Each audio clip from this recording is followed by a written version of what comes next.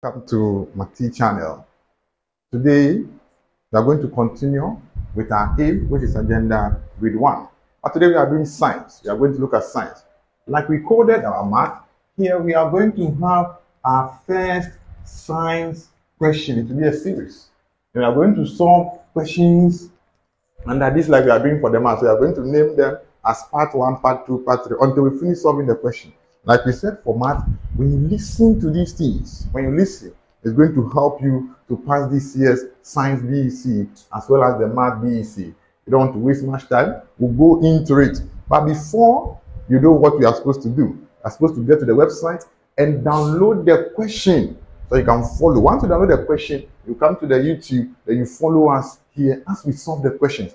Pay keen attention to all that we give you so that you can be able to write the paper and pass your science this year. The, this year's agenda is to get what? Grade one in the science.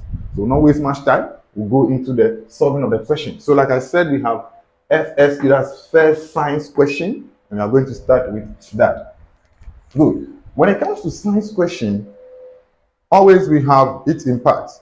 The practical aspect of the question is very, very important for you to understand. Once you're able to get your practicals, the rest you'll be able to go through. So we are going to look at the practical first of all, how we solve some of the practicals. Good. Now, if you have your question now, I hope you've downloaded it by now. And you see, we have question one. Question one says, question 1a. And there's one thing I want to take note of, you to take note of. When it comes to science, your numbering of the question is very, very important. Examiners say that most of you know, but the way you number your questions, you get wrong. So today we are going to look at proper numbering of the questions so that when we solve them, we write the correct answer, we can get what? We can get our marks. Okay, so let's go straight into it. We have question 1a, question 1a. So today we are solving the question 1a. So in my answer booklet, I have question 1a. About question 1AI. So how to solve question 1AI. And let me read the question. In an experiment, the surface of three iron nails were clean dried and placed in three separate test tubes. A, B, and C are shown in the diagram. Now, this is what I like about the practical. Study the diagram carefully and answer the question that do that follow. Study the diagram. Most of you don't study the diagram in the sense that yes during your practice days you have seen an example of this. So you think that is no they might have twisted something. So you have to study carefully. And they always tell you study the diagram carefully. So i'm also stressing on that. Always study the diagram more carefully so that you don't make any mistakes. They might change it. But once you study carefully you understand the principle behind what they are doing you get this thing correct. Let's go. Now when you see the practical there it's about rusting you can say there's rusting. And this is what I tell students before we even go and answer the questions. When we come to practical experiments like rusting, photosynthesis, and the rest, what they want to test is your understanding of the conditions necessary for rusting to occur. Now, this is what we are doing here. We want to test the conditions necessary for rusting to occur. And for rusting to occur, there are two things. For rusting to occur,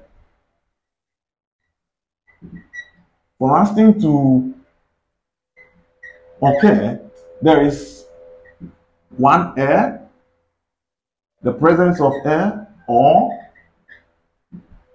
or moisture, then also two water. When these two things are present, when these two things, water and air is present on the metal surface, the metal rust. It forms a reddish brown color. That's rusting. So in an experiment, for us to demonstrate if truly these conditions are necessary, what do you think we'll do? We are going to vary the conditions in each of our test tubes that we showed. They'll vary the condition in the sense that in one test tube, we'll have only air. In another test tube, we'll have only water. In the other test tube, we'll have both air and water. And that is what you should take note of. Maybe in your learning in school, your diagram A was the one we? With the water, then diagram B was that. But if you study carefully, you realize they might have changed it. So I don't go and answer anything you just learned. But you use the understanding to do it. So what I'm trying to say here is that in any practical question, they will vary the what? The conditions. So it might be that in test tube A, we have only we have only air in test tube A. In test tube B, we have both air and water. So both air and water will be given in the test tube B. Then in test tube C, we have what? This only, so this be only water. Now, the next thing you are going to look at, what are they going to do? What are we doing to make sure we have only air in this one? What are we doing to make sure we have only water such that there's no air in this? These are some of the things, these are some of the questions we'll be asking. Explain why this was. So we do certain things in experiment to make sure that this one is only air and that there's no water. And we also make sure that this one will have what? Only water. So what are some of the things that is done to ensure that we only have water here and we only have what? Air there. And of course, you can tell that since these and these are the two components or the factors necessary for rusting to occur, and we don't have it here, then automatically in test tube A, it will not rust, the nail will not rust. But in test tube B, it will rust. But in test tube C, it's also? It's also rust. But the question is, what is what did they do? What they put in place to make sure this is air only, to make sure that is water only? That's what we are going to look at. You understand? So here they can put a drying agent like uh, calcium chloride to absorb the air from the water. Here, the, we first of all will boil the water to escape or to remove the oxygen. Then in this one, we also add oil to the surface of the wall of the water to prevent once again air from what from entering. So basically, that is how the experiment is about. But that's what the experiment is about. So when you get such experiment, don't rush into it. Study carefully, like they say, and let's answer the questions. So with this, let's go straight away into the question one and answer question one. Let's go straight away into question one and answer. So I read the question again. In an experiment, the surface of three iron nails were cleaned dry and placed in three separate test tubes, A, B, and C, as shown in the diagram. Now study the diagram carefully and answer the questions that do that follow. Now let's go and study the diagram carefully.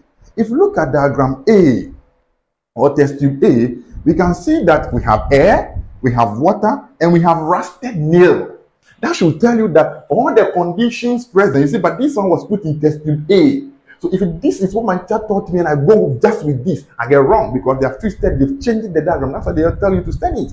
It might be that in this year, when they repeat this, they are going to place a different, or they are going to place the test tube A at the position of test tube C. So you check it carefully. Good. So in A, we say we have what? We have air, water, and rusted nail. And you could see that in test tube B, we have what? We have oil, boiled water, and boiled water. There's a reason for boiling the water, and that tells us that there won't be any what? Air.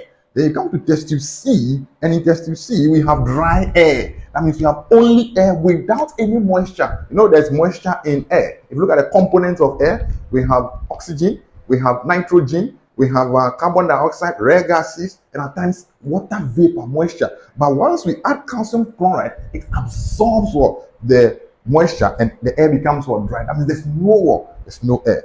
Good. Now let's see the observation. So that's the diagram We study carefully. We've looked at it carefully. Now, after three days, the nail A or the nail in A was found to have rusted. Wow. While the nail in test tube B and C did not rust. Now, if I understand rusting, that should tell me that in test tube B and C, one of the conditions was missing. If that condition is missing, then um, rusting will not be achieved. The nail will not, will not rust. Now, straight away into the question. Now that we've studied carefully, let's go. The question says this 1AI suggest an, an aim, should be suggest an aim for the experiment. Suggest an aim for the experiment. What is the aim? Why are we doing this? The aim of the experiment is to demonstrate the factors necessary for rust or necessary for rusting. So the aim of the experiment, that's right. Aim of the experiment, aim to demonstrate to demonstrate the conditions the conditions necessary for rusting the conditions necessary for what for rusting that is i what is i now i says that why was the water in test tube B boiled so once again 1a i i why did we boil the water in test A? To remove what? To remove, I just said it. To remove what? To remove the air there. The air in what? Water. So the reason why it was boiled is to remove air in the water. Very simple and, and short answers. Practical, you don't write much. Just point, point, point to go. It's some, some short explanation, you are gone. Then I, I, I, I, I, I. I state that state the function of the oil on top of the water in test tube B. What is the role of the oil? The role of the oil is to prevent air from what? From entering into the water. So the role of the oil is to prevent air from getting into the water. So this is it to prevent air from getting into the water. Then still 1A I V 1A IV. What is the purpose of calcium chloride in the test tube C? What is calcium chloride doing? If you study that, going to say that is dry air. If you don't know, you look at dry air. Dry air means that there's no water. So if you know the principle behind the experiment, no matter how they twist it, you know to answer. Good. So the the what's the purpose of the calcium chloride in the test tube? To to absorb the moisture in the air. Or you can say to remove what? To remove water in the air. So that is the function of the calcium chloride in test tube c. Why did the nail in test a rust? Why did the nail in test a right, rust? We've already said that the condition necessary that means that the condition necessary for rusting to occur. Both conditions were fulfilled were present in what in the test a so for viewing why why did the nail in test a rust? He said the nail rusted the nail rusted due to the the presence of air and water. The nail rusted due to the presence of what? Of air and what? And water. That is why to rust. Now, let's go. So now we have question VI VI alpha. VI alpha. Alpha is a radiative particle, and they will go into that one too. Now, why did the nail in test tube B rust or did not rust? Why did the nail in the test tube B did not rust? What do you think? The test tube B, when you go there, you cannot see what? You can't see um, air. Therefore, it will not what? Rust. So it did not rust because there was no air. So why did it? Why did it not rust? Because so we say did not rust, did not rust because because because there was no air. Didn't rust because there was no air. Then beta, another radiative particle, the nail also did not rust. Did not rust because because there was no water. So this is the reason for the nail not rusting in both what? In both alpha and beta, or in both test tube B and test tube what? C. Now, from the experiment, the last question, from the experiment, explain why oil is applied on the surface of a metal to prevent rusting. From the experiment, explain why oil is applied to the surface of the metal to prevent rusting. Why do we put oil on the surface of the uh, metal? Remember, oil and water or moisture are are immiscible. They don't mix together. So therefore, if I have oil on the surface, water will not have direct impact with the wall, with the metal, or direct contact with what? With the water, with the metal, sorry, with the metal. So the answer to this says that uh, let's read the question again. From the experiment we have performed now, explain why oil is applied on the surface of a metal to prevent what? Rusting. We apply oil. When we apply oil, the moisture will not have direct contact with what? The metal. That's how we do that. So we apply this. The, let me see this. Why we, are, we do that? So oil is is applied to prevent direct contact direct contact contact of water to the nail. So once we do that, we prevent what? Direct contact to the what? To the nail. And that is why. So you see, in this experiment, this simple experiment, the understanding is very important take this from me. The understanding of the experiment is very, very, very important.